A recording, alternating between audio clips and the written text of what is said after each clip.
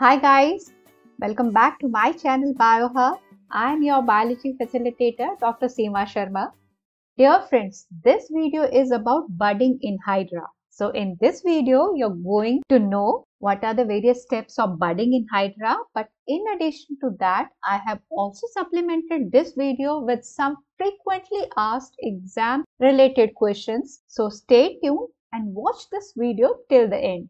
Before knowing about budding in Hydra, first let's know what is Hydra. Hydra is a tiny freshwater organism.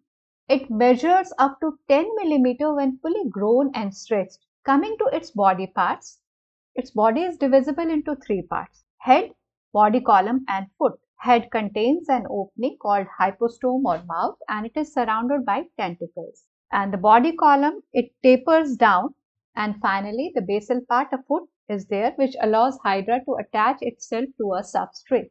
Coming to its modes of reproduction, the most common mode of reproduction in Hydra is asexual reproduction and that is through a special mechanism called budding. When the environmental conditions are favorable, like there is plenty of food, the temperature is moderate, then Hydra undergoes budding. And Hydra also has a remarkable ability to regenerate its body parts. But when the environmental conditions are not favorable, then Hydra goes for sexual reproduction. So this was in brief about Hydra. So let's come back to our topic, budding. What is budding? Budding is a type of asexual reproduction where a small outgrowth or bud it forms on the parent organism. It eventually grows in adult and separates from the parent's body. Now let's proceed with knowing about budding in Hydra. Budding in Hydra.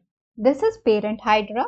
When the conditions are favorable, then parent Hydra it start going for budding and during budding the first thing is a bud, a tiny bump, it starts developing on the tubular body of the parent hydra. This is the parent body and this is the tiny outgrowth.